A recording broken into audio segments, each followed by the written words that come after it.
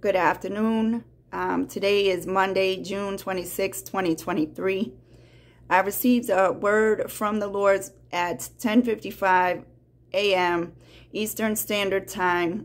This is specifically going to be for those who refer to themselves as children of God. But first, the Lord wants me to read from Psalm 145. Um, this is David's Psalm of Praise and I'm going to be reading from the King James Version. I will extol thee, my God, O King, and I will bless thy name forever and ever. Every day will I bless thee, and I will praise thy name forever and ever. Great is the Lord, and greatly to be praised, and his greatness is unsearchable. One generation shall praise thy works to another, and shall declare thy mighty acts. I will speak of the glorious honor of thy majesty and of thy wondrous works. And men shall speak of the might of thy terrible acts, and I will declare thy greatness. They shall abundantly utter the memory of thy great goodness, and shall sing of thy righteousness. The Lord is gracious and full of compassion, slow to anger, and of great mercy. The Lord is good to all and his tender mercies are over all his works. All thy works shall praise thee, O Lord, and thy saints shall bless thee. They shall speak of the glory of thy kingdom and talk of thy power, to make known to the sons of men his mighty acts and the glorious majesty of his kingdom. Thy kingdom is an everlasting kingdom, and thy dominion endureth throughout all generations. The Lord upholdeth all that fall, and raiseth up all those that be bowed down. The eyes of all wait upon thee, and thou givest them their meat in due season. Thou openest thine hand, and satisfiest the desire of every living thing. The Lord is righteous in all his ways, and holy in all his works. The Lord is nigh unto them that call upon him, to all that call upon him in truth. He will fulfill the desire of them that fear him. He also will hear their cry and will save them.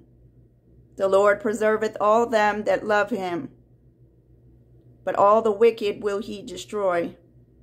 My mouth shall speak the praise of the Lord, and let all flesh bless his holy name forever and ever. As always, I encourage you to not take my word for it today. Test the spirits. Take this back to the Lord in prayer. Take it to the secret place. You are to test the spirit by the Holy Spirit. And also you can speak to God through his word and receive confirmation there as well. So this is what the Lord said. Children of God, a separation has been taking place. I am giving those who honor me with their lips, but not their hearts, over to a reprobate mind, to do things that ought not be done. This is the great falling away, the apostasy. Some will seek me with their whole heart and find me again, but it will not be easy.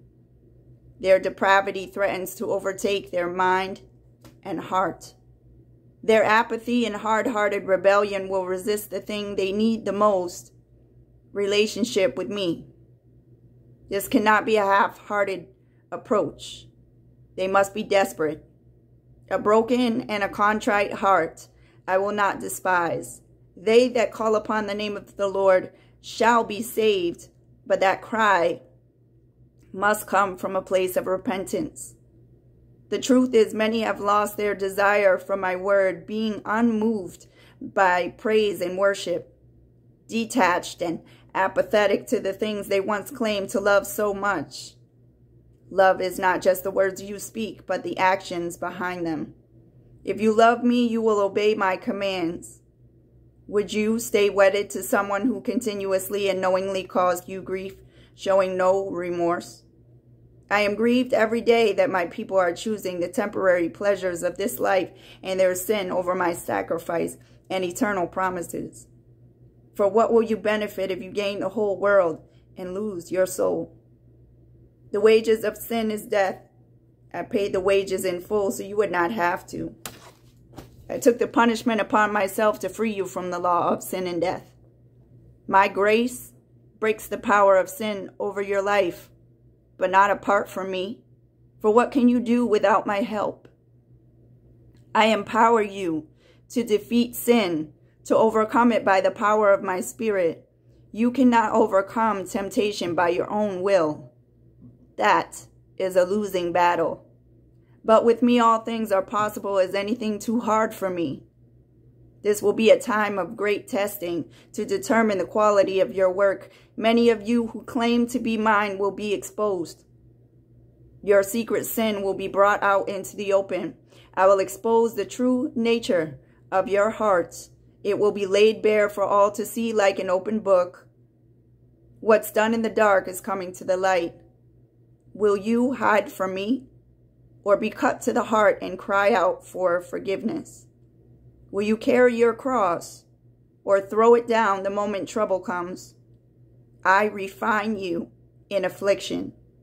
I purify your hearts in the furnace I promised you would suffer for my name's sake and told you to rejoice in your suffering. Suffering is part of your development as my disciple.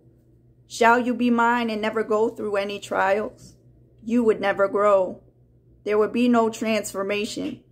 Without faith, it is impossible to please me. I am growing your faith through moments of doubt and uncertainty. You must learn to rely and depend on me for everything. Pray without ceasing for my will to be done. Pray for my burden to become your own and to be grieved by the same things that grieve me. Pray for me to circumcise your heart and renew a right spirit within you. Pray for a heart that submits, a heart that yields and responds to my leading. Pray that you will come forth as gold and look nothing like the fire you just stepped out of. Pray for daily fillings of my spirit. Pray to lose your desire for the things of this world. Pray to endure to the end. Those who have fallen victim to a reprobate mind, pray for their zeal to return. Pray for supernatural strength from the throne room. Pray for divine intercession. Pray for an increased hunger and thirst for my righteousness. Fight for those who are having difficulty fighting for themselves. The prayers of the righteous are powerful and effective, but not if you stay silent. You must be persistent. You must plead for mercy on their behalf. The road to destruction is broad, and many have chosen its way, but narrow is the way to eternal life, and few find it. Few meaning a remnant. They shall be counted as worthy and walk with me in robes of white. They shall share my inheritance. No good thing will I withhold from them.